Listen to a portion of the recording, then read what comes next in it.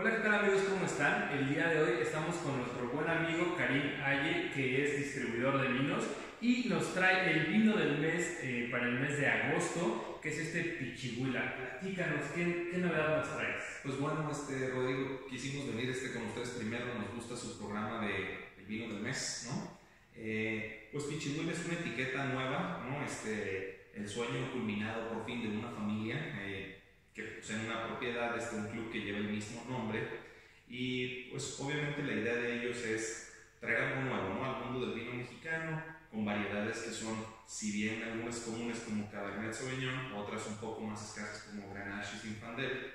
Y pues bueno, es esta mezcla que tienen aquí enfrente, que vamos a, vamos a probar ahorita enseguida, para que lo puedan conocer un poco más a detalle. Es del 2014 y además tiene un paso de cuatro meses por barrica de roble francés de segundo uso, solo para... Es correcto, ¿no? es correcto. Muy bien, vamos a llevarlo a la vista, como saben siempre, sobre un fondo blanco y pues vemos que es un, eh, tiene un tono violeta y hacia los ribetes se va haciendo rubí, ¿no? Me parece que, sería una descripción Sí, aproximada. Sí. Vamos a llevarlo a nariz.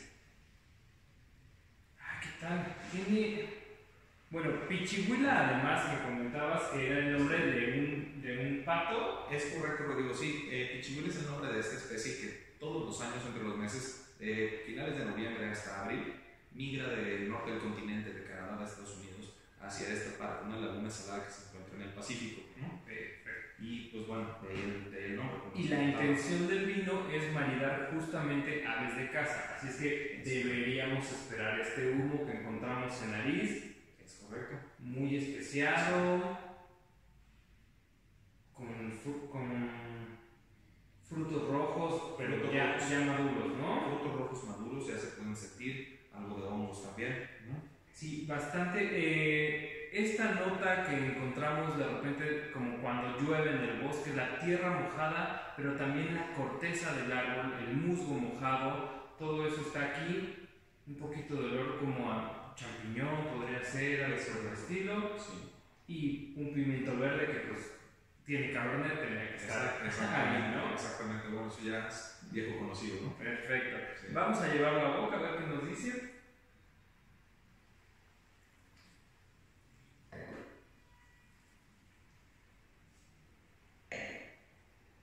Muy bien, pues lo siento, para empezar muy equilibrado, Es correcto. pero también con, con una, o sea, refresca bastante bien, Sí. empiezo a salivar, la, acidez está presente, está... Es- exactamente, todo eso te vas a encontrar y, bueno, como comentábamos, para maridar este tipo de aves de casa, cortas algunos incluso grasos o como comentábamos, incluso algo ahumado, ¿no? Este, Algo ahumado, yo creo que hasta unas costillitas barbecue o, o sin el barbecue, pero de esas costillitas que hacen ahumadas, se ven muy bien. Una carnita asada, pero asada al carbón, ¿no?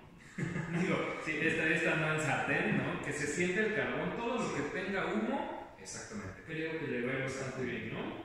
Algún queso maduro, creo que también. Los quesos maduros, por ejemplo, a nosotros nos gusta un poco con brie, ¿no? Entre otras cosas, este, pero sí pueden, pueden probar alguna otra opción si gustan, pero es para... Incluso una pizza a la leña, pero con algo grasoso ya, ya en los ingredientes, ¿no? De carne, Exacto, digo, la leña es ingrediente clave para... La leña es, es lo que va a marinar aquí. Así es que bueno, pues ya lo saben, en agosto Pichihuila es el vino del mes, es una exclusiva para solo vino y pues muchas gracias. Salud.